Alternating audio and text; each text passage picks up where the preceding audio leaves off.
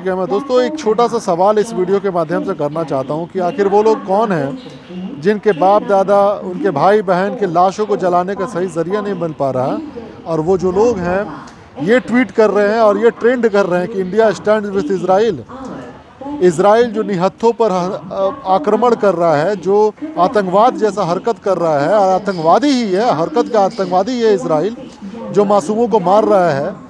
और वो भी एक ऐसे वक्त पे जब लोग प्रे कर रहे होते हैं और रमज़ान के महीने में लोग दुआ कर रहे होते हैं। ऐसे में ये लोग जिनके बाप दादा के सही से शमशान घाट में जगह नहीं मिल पा रही है, ये लोग हैं जो स्टैंड कर रहे हैं इसराइल के साथ। बड़ी शर्म की बात है यार।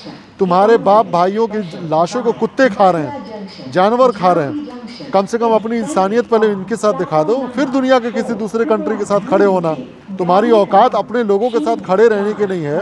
और आप बात कर रहे हो बड़ी बड़ी। मतलब बेशर्मी की हद है। शर्म आनी चाहिए। खैर, ऐसे जाहिलों को क्या क्या कहा जा सकता है? गंवार लोग हैं।